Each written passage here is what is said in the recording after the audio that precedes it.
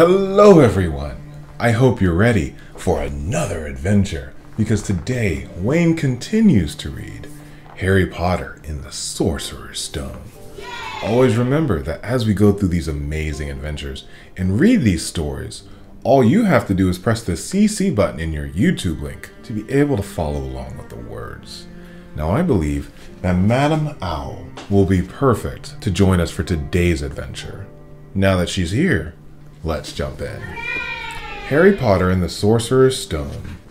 Nicholas Flamel. Dumbledore had convinced Harry not to go looking for the Mirror again, and for the rest of the Christmas holidays, the invisibility cloak stayed folded at the bottom of his trunk. Harry wished he could forget what he'd seen in the mirror as easily, but he couldn't. He started having nightmares.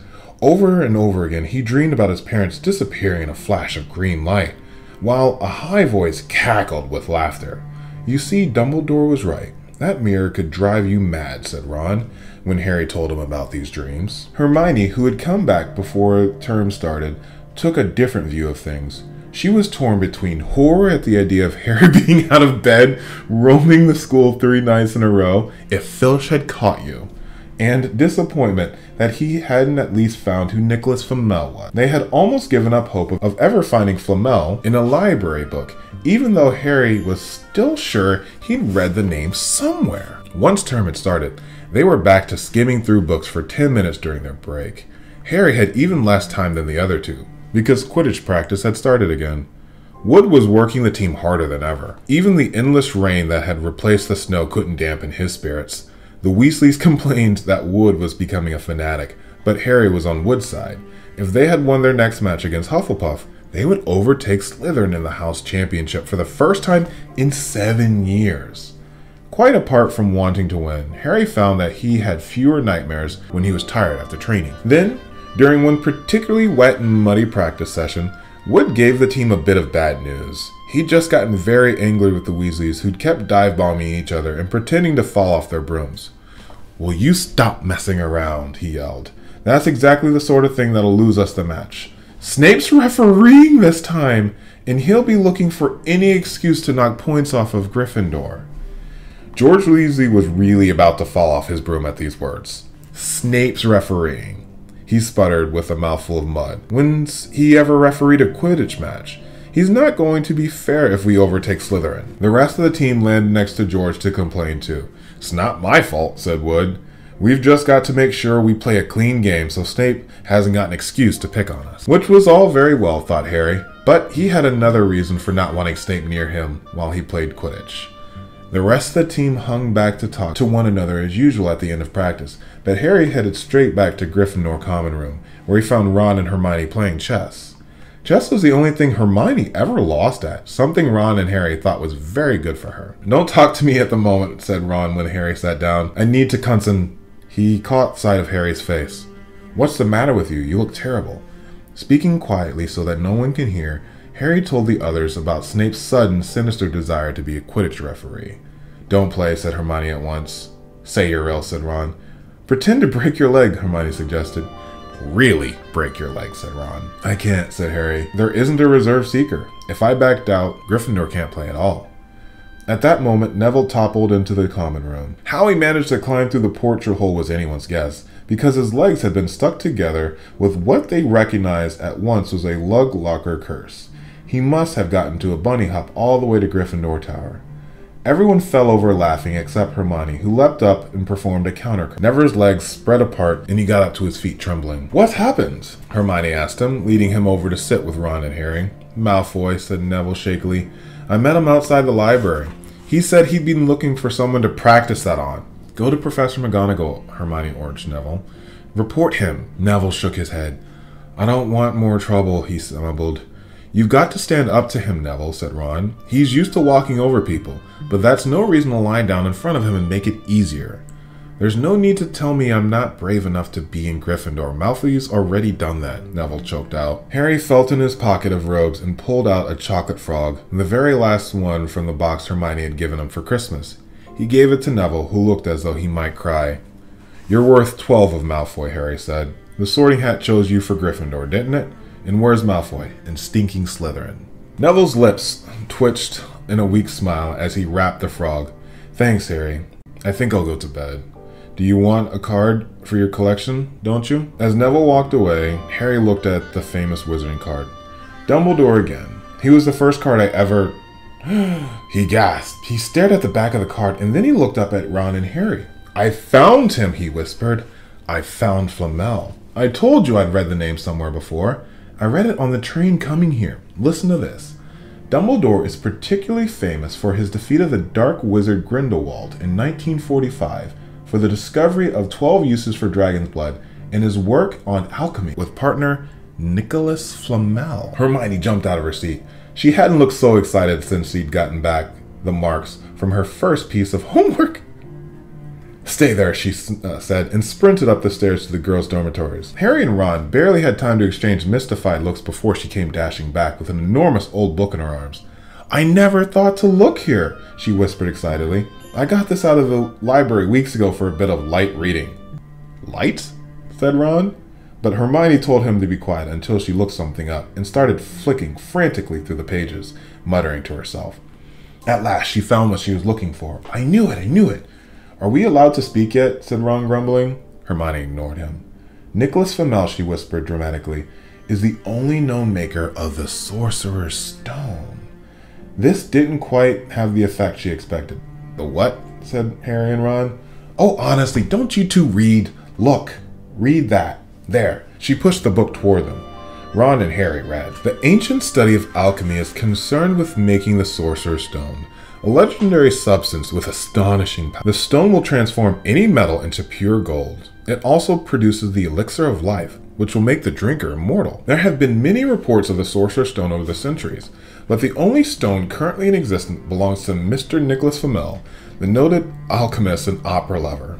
Mr. Flamel, who celebrated his 665th birthday last year, enjoys a quiet life in Devon with his wife, Perenelle. 658. See, said Hermione. When Harry and Ron had finished, the dog must be guarding Flamel's Sorcerer's Stone. I he asked Dumbledore to keep it safe for him because they're friends and knew someone was after it.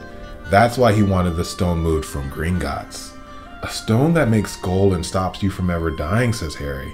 No wonder Snape's after it. Anyone would want it. And no wonder he couldn't find Flamel in that study of recent developments in wizardry, said Ron.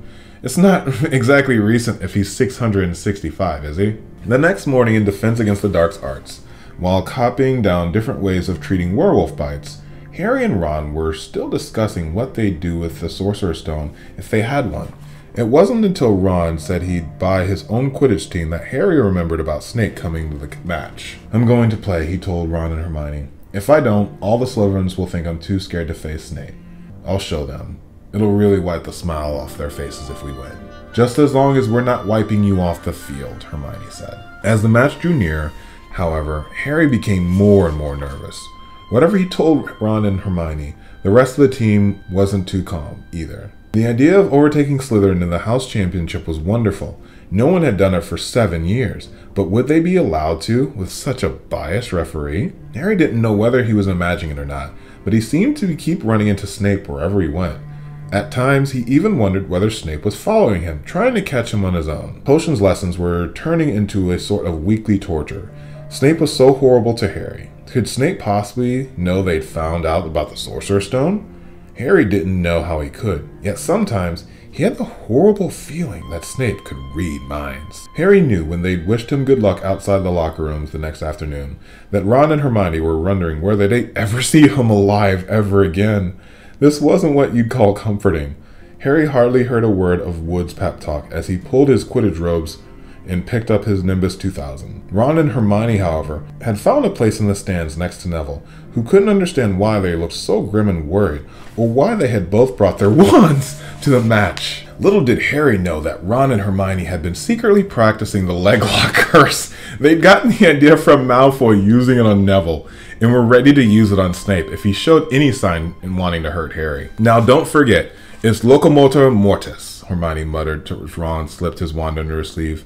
I know, he snapped. Don't nag. Back in the locker room, Wood had taken Harry aside. Don't want to press you, Potter. But if we ever need an early capture of the snitches now, finish the game before Snape can favor Hufflepuff too much. The whole school's out there, said Fred Weasley, peering out the door.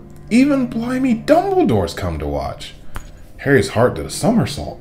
Dumbledore, he said, dashing to the door to make sure. Fred was right. There was no mistaking that silver beard. Harry could have laughed out with a sound of relief. He was safe. There was simply no way Snape would dare to try to hurt him if Dumbledore was watching. Perhaps that was why Snape was looking so angry as the teams marched onto the field. Something that Ron noticed too. I've never seen Snape look so mean, he told Hermione. Look, they're off. Ouch. Someone poked Ron in the back. It was Malfoy. Oh, sorry, Weasley. Didn't see you there. Malfoy grinned broadly as Crabbe and Goyle. Wonder how long Potter's going to stay on his room this time. Anyone want to bet? What about you, Weasley? Ron didn't answer. Snape had just awarded Hufflepuff a penalty because George Woody hit a bludger at him. Hermione, who had all her fingers crossed in her lap, was squinting fixedly at Harry, who was circling the game like a hawk looking for a snitch. You know how I know they think they choose people for Gryffindor teams? said Malfoy, loudly a few minutes later, as Snape awarded Hufflepuff another penalty for no reason. It's people they feel sorry for. See, there's Potter, who's got no parents. Then there's the Weasleys, who've got no money. You should be on the team, Longbottom. You've got no brains. Neville went bright red and turned in his face to fate Malfoy. I'm worth twelve of you, Malfoy, he stammered. Malfoy, Crabbe, and Goyle howled at laughter, but Ron, still not daring to take his eyes off the game, said, You tell him, Neville. Longbottom, if brains were gold, you're poorer than Weasley, and that's saying something. Ron's nerves were already stretched to the breaking point with anxiety about Harry. I'm warning you, Malfoy. One word. Ron, Hermione said suddenly. Harry! What? Where?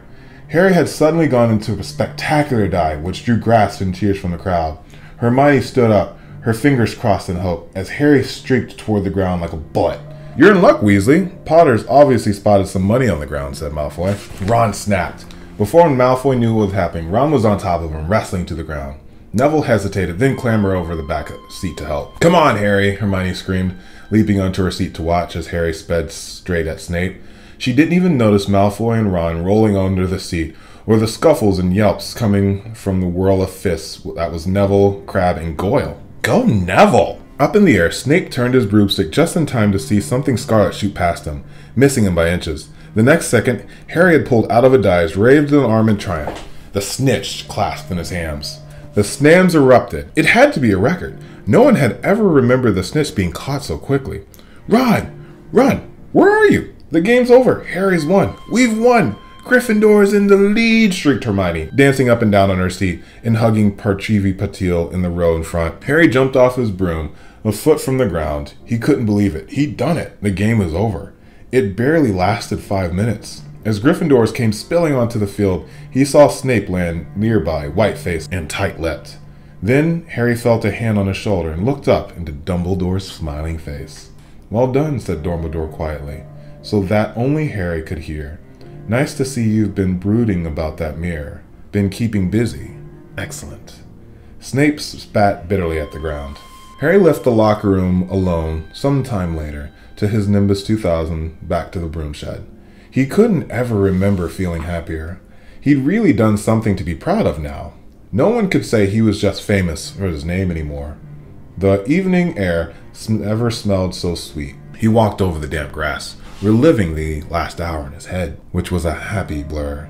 Gryffindors running to lift them onto their shoulder, Ron and Hermione in the distance jumping on and down, Ron cheering through a heavy nosebleed. Harry had reached the shed. He leaned against the wooden door and looked up at Hogwarts. With its windows glowing red in the setting sun, Gryffindor in the lead. He'd done it. He'd shown Snape.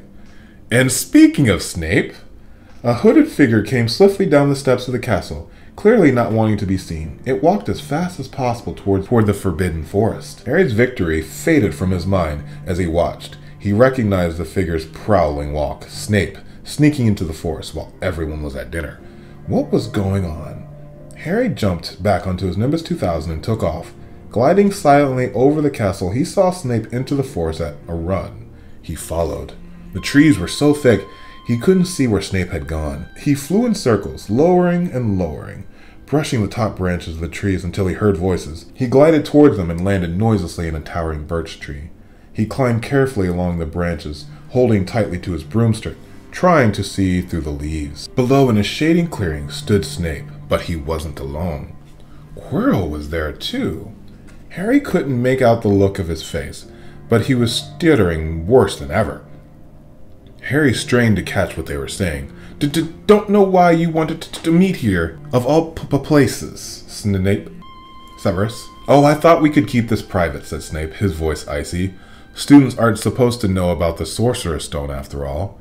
Harry leaned forward. Quirrell was mumbling something. Snape interrupted. Have you found out how to get past that beast of Hagrid's yet? But, but, but, Severus, I, You don't want me as your enemy, Quirrell, said Snape, taking a step forward. I, I, I know what, what, you... You know perfectly what I mean. An owl hooted loudly, and Harry nearly fell out of the tree. He'd steadied himself in time to hear Snape say, Your little bit of hocus pocus. I'm waiting. But, but I... D- d- d- Very well, Snape said. We'll have another chat soon when you've had time to think about things over and decide where your loyalties lie. He threw his cloak over his head and strode out of the clearing. It was almost dark now, but Harry could see Quirrell standing quite still as though he was petrified. Harry, where have you been? Hermione squeaked. We won! We won! We won! shouted Ron, thumping Harry on the back.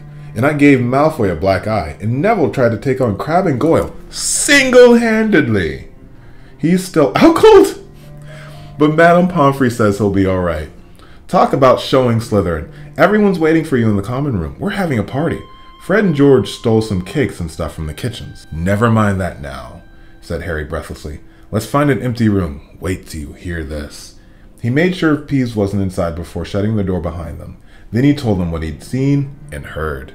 So we were right. It is the Sorcerer's Stone, and Snape's trying to force Quirrell to help him get it. He asked if he knew how to get past Fluffy, and he said something about Quirrell's hocus pocus. I reckon there are other things guarding the stone apart from Fluffy. Loads of enchantments. Probably, in Quirrell, would have done some anti-dark art spell that Snape needs to break through. So you mean the stone's the only safe as long as Quirrell stands up to Snape? said Hermione in alarm. It'll be gone by next Tuesday, said Ron. I think that is a great place to end this chapter as we read Harry Potter and the Sorcerer's Stone. What did you think, Madam Owl? I like that part too. Hope to see you again soon. We hope to see you soon here with Wayne Reads.